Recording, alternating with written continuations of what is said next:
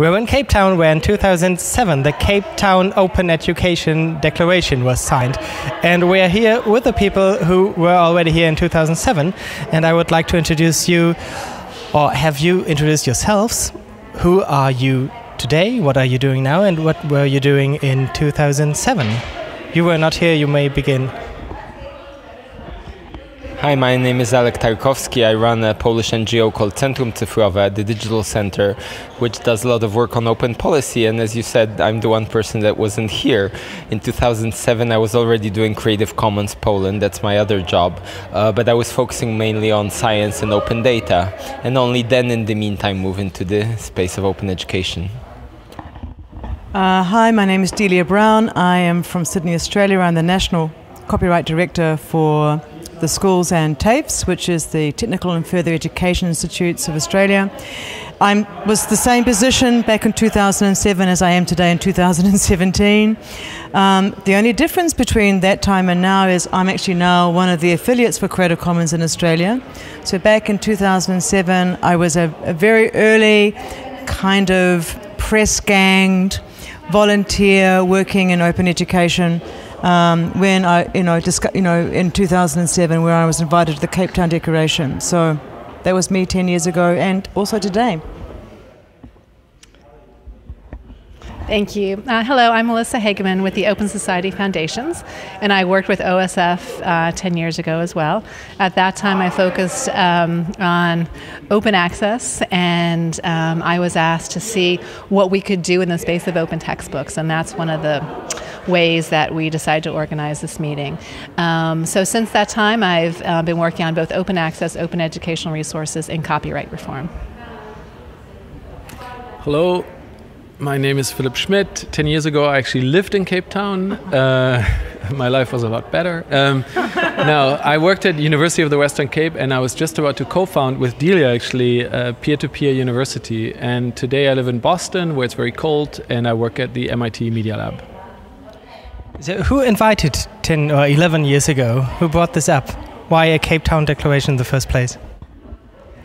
So, I think all three of us had been together at the open.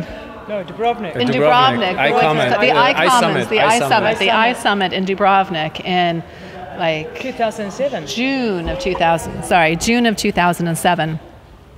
And Philipp was one of the organizers of the open education session, I believe, with Yeah, I Mark. Surman. Yeah, yeah, it, yeah. With with Mark Surman, and um, one of and Arash, and one of the ideas that came up during that meeting in Dubrovnik was that. Um, it was said that we need a BOAI for OER. And the BOAI is a Budapest Open Access Initiative, which first defined open access and developed strategies um, for achieving um, open access. And my organization played a role in that. So um, uh, Mark Surman, who was with Shuttleworth at the time, and Karine B- Bezuidenhout and I sat down and said, well, let's do a BOAI for OER. And so we ended up gathering together about 20 f- people and inviting them here to Cape Town. And that meeting happened in September. So it was a very quick turnaround from our meeting in Dubrovnik. Let's skip the middle part because everyone can read the declaration on the internet or they learned it by heart. So it's like the donut. We don't talk about the whole, but about the story around it. Um, was it more like a master plan and 20 people coming together and now we need a declaration or how did it proceed? Wow, how did it proceed? Ten years ago, you're really testing my memory. Um, no, it, it, was a kind of grassroots um, agile creative thinking project over a day and a half with using kind of open facilitation methodologies, spectrograms, breakout sessions, um, and with us kind of deciding what the core issues we needed to address in order for to have a, a document that kind of had a vision and values of open education, open education resources. And at that stage, the I suppose the focus probably was on we need to open up content. We need to help you know have more open content, open education resources, to basically to get the dream of equity of education and access to education. Um, so it was kind of a, a day and a half or two days of really kind of like quite messy thinking, but really good thinking because you get very creative with a bunch of people that some of us hadn't met before. Um, so think of it like a like a boot camp. uh, of kind of of dumping ideas and then pretty much middling groups consensus deciding what was the important issues to kind of really delve into. And at the end of that process, it kind of came up with, with a core idea of getting a declaration very similar to the Budapest Open Access Declaration. But we still had a lot of work, but it was just the idea of doing it. And then it was given to a bunch of, well, actually, I think, I think four or five of us were volunteered we were volunteered. I don't remember actually putting my hand up, but apparently we were volunteered to come with a, with a draft document to try and encapsulate what we had a general consensus with. And then lots of feedback from the other participants at the, um, at the meeting. And so, even though we decided to start this in September, we didn't actually have a declaration until January the following year in 2018. And over that process, those 20 people worked very, very hard, 2008, sorry, we worked very, very hard to kind of get to the final document we got in the end. Alek, you were not here, so you have the part of telling the world that it really had an impact. It's hard to say our declaration had an impact, but you can say their declaration had a really huge impact. I think so. I'm observing it sort of from outside. I can only say how important such documents are, and I actually think maybe writing it and focusing on what's the right wording and how to coordinate, you might have not appreciated it. Movements need some focal points, you know, something that's agreed upon, something that's referenced. Even more importantly, people outside of the movement need sort of clear cut guidance what this is about. And, and the declaration did exactly that. It took some ideas which were present before, you know, for several years, but made it into this form that you can just put on the table uh, and both internally in the movement say, okay, this sounds good, we agree with it, so we're going to follow lead. And also we can show it, for instance, to institutions and, you know, when you come to them and say there's a declaration. And I also I like the fact that it's, it's a grassroots one, it's signed, signed by organizations. I appreciate also documents that are governmental, we need both. But here the fact that you can show to people that it's just consensus across the world from different countries, from different perspectives, uh, and one you can agree with, I think that's very powerful. So now in 2017, uh, we're not only celebrating uh, 10 years of Cape Town Declaration, but also thinking about what could be added to the ideas of 2007. What would you put in if you wrote another Cape Town Declaration in 2017?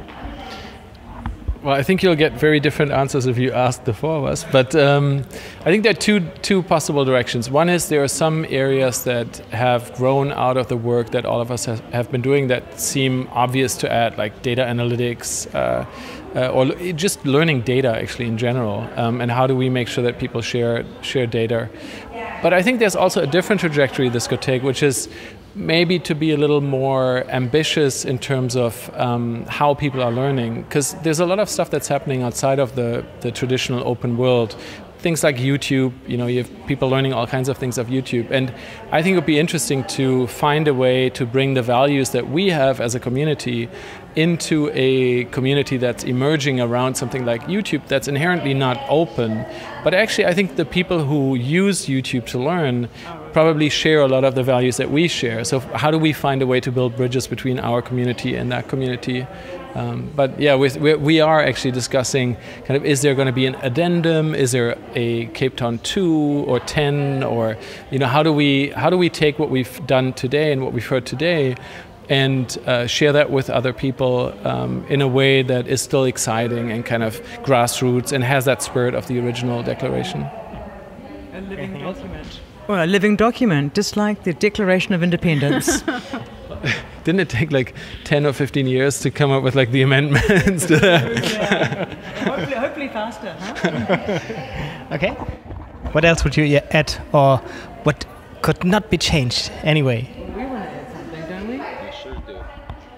Well, the three of us, we oh like the I think that we might be in consensus here. Oh Philipp, Philipp gave a lead here. I think that we're in agreement that we need to add um, some aspect of copyright reform to it. Um, the OER and the copyright communities have much in common, and I think we can be strengthened by more closely collaborating with each other. So, drawing that out in the Cape Town Declaration, I think, could be very helpful. That's plus one and plus one. And minus one. And yeah. so not a consensus, but the majority. Anything else? I think that um, there was more energy at the end of the afternoon than we had anticipated. Yeah, actually, that's a good point. Yeah, 'cause- and yeah. Um, so we have to, as, as Philipp referenced, we have to really sit down and think about what our next steps are going to be now. Yeah, and as we came into this, I think we had questions about what's the right strategy to take this forward.